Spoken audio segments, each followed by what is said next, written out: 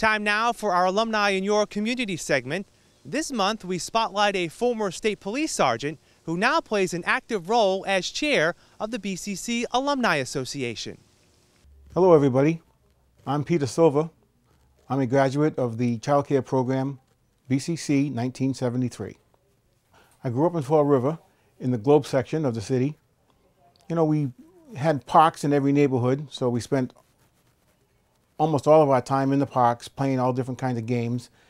And uh, by the time I was 12 years old, believe it or not, I was already working. I had uh, newspaper routes. I had two newspaper routes. I uh, even at age 12, 13, I would go over to Somerset and Swansea with uh, the farm trucks and pick string beans, and um, just you know, just kept busy like that until uh, junior high school. I went to Henry Lord and uh, you know went through the regular kid thing of playing sports and everything like that. I did held my own in school. wasn't the uh, you know wasn't an ace guy, but uh, found that I was curious and you know became a, a curious reader. Even from that age, I was always into books and learning and uh, you know so that progressed, as you know, to uh, a graduate of BCC, 1973.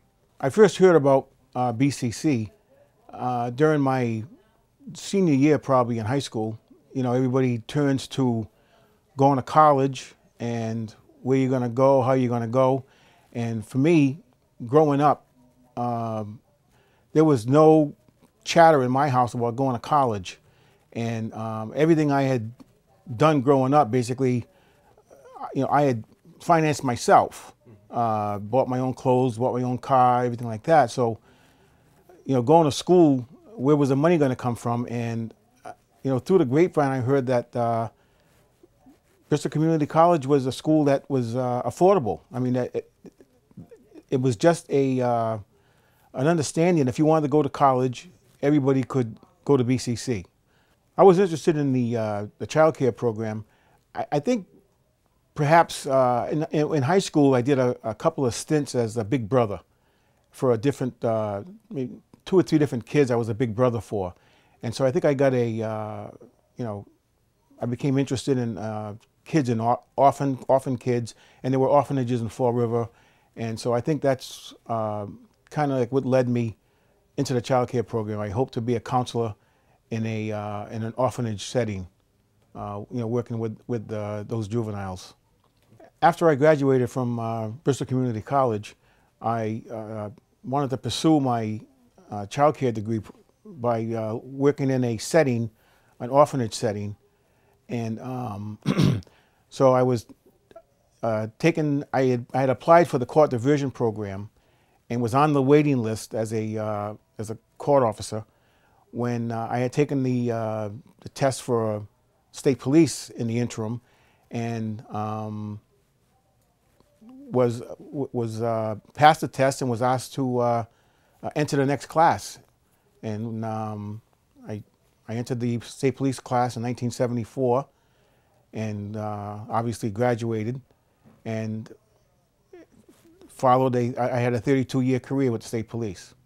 Okay. During my time with the state police, which was a little over 32 years, I um, was assigned to uh, different uh, different units uh, to make it quick, the state police has basically two divisions, uh, field services and investigative services. I spent the first maybe uh, 10 years on the road, so to speak, doing uh, that kind of enforcement. And then I moved over to investigative services, and that's where I, um, you know, I did undercover work, I did white collar crime, I did lots of work with the feds, working with uh, you know, ATF and the things you hear about on TV, DEA and uh, the FBI. I did a, lot of work with all of those um, types of federal organizations. And I ended up um, retiring in 2007 um, after a 32 year career. I have three children and one daughter, my oldest. She uh, is now attending uh, Bristol Community College in the occupational therapy program she had a very successful career uh, with Sallie Mae. She was uh, assigned to uh, Ivy League schools as an exclusive intermediary for Sallie Mae, but that whole career kind of folded up, and now she's at BCC, uh, uh, turning her life around with a new career. I have a son, Corey. He actually is a school teacher uh, in the city of Fall River. And um, my youngest boy, I have a, stood, a second son, Nicholas, and uh, he's in New Bedford. He's trying. He's finishing up at UMass uh, Amherst. Uh, excuse me, UMass Boston, and he's working part time while he finishes school up. Uh, but they're all very good kids, and um, you know, so far so good with all of that. I have uh, a niece who also attended uh, Bristol Community College. She she came here from the Cape Verde Islands and went right to the top. She was a uh, honor student, graduated in 04, and now she's in law school, um, where she's getting uh, she's getting A's at the uh, New England School of Law in Andover. So I'm very proud of her. I'm very proud to have BCC uh, in my family's life. I got involved with the Alumni Association through a combination of uh, family ties. I have a, a, cousin, Virginia, who is on the faculty, and I have a, uh, a cousin, uh, Cynthia Rose, and she is um, a member of the uh, Board of Trustees, and they kind of uh, coerced me and suggested I'd be a good fit uh, for BCC. Uh, now that I was retired and, you know, I needed, I want to contribute, you know, give something back to the community. Um, BCC was an option for me, and it's been a, it's been a good fit. Without BCC as a uh, as a starting point for me with my education, I, I probably would not have uh, chanced even taking a state police exam. When I learned that my associate's degree uh, more than qualified me to take the exam. It was uh, the beginning of, a, uh, of, of, my career.